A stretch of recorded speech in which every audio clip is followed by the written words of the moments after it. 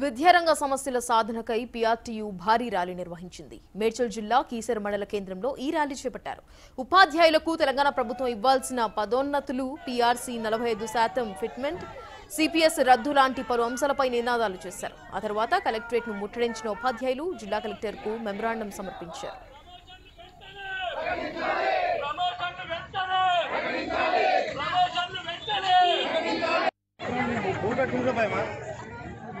support not